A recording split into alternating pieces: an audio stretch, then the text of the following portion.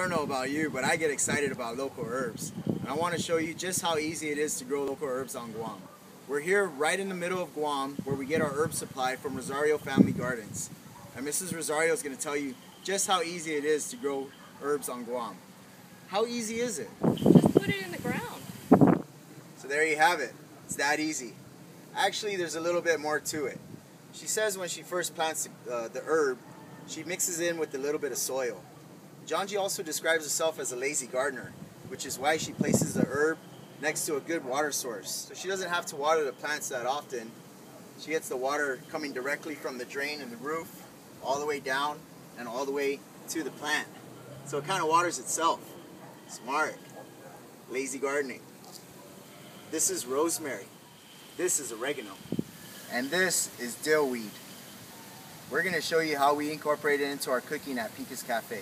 I want to show you how easy it is to make pickles using fresh local ingredients. Rice vinegar, red onions, local cucumbers, I got it. sugar, and fresh dill. Here's what it looks like afterwards. To show you how we use local local rosemary and oregano in our food with the vegan rancheros that we serve here at Pika's. It's real easy. It starts off with the ranchero sauce, roasted tomatoes, garlic, and fresh rosemary, a little bit of olive oil. Let's throw this in the oven for about 35 to 40 minutes, and that's going to be the base of our ranchero sauce, starting off with the roasted tomatoes. And now the ranchero sauce. Fresh roasted tomatoes that I showed you earlier, a little bit of our homemade salsa, our fresh local oregano.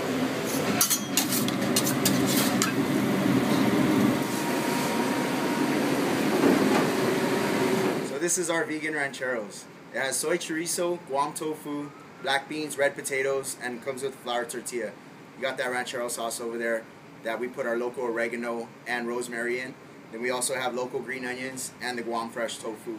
Four locally produced ingredients right here in one plate, served just for you. Unlike Mrs. Rosario, I don't have a green thumb. That's why I appreciate our farmers here so much. Without you, Pika's Cafe wouldn't be what it is today. So I encourage you all to grow some herbs in your backyard. The freshness will put a smile on your face.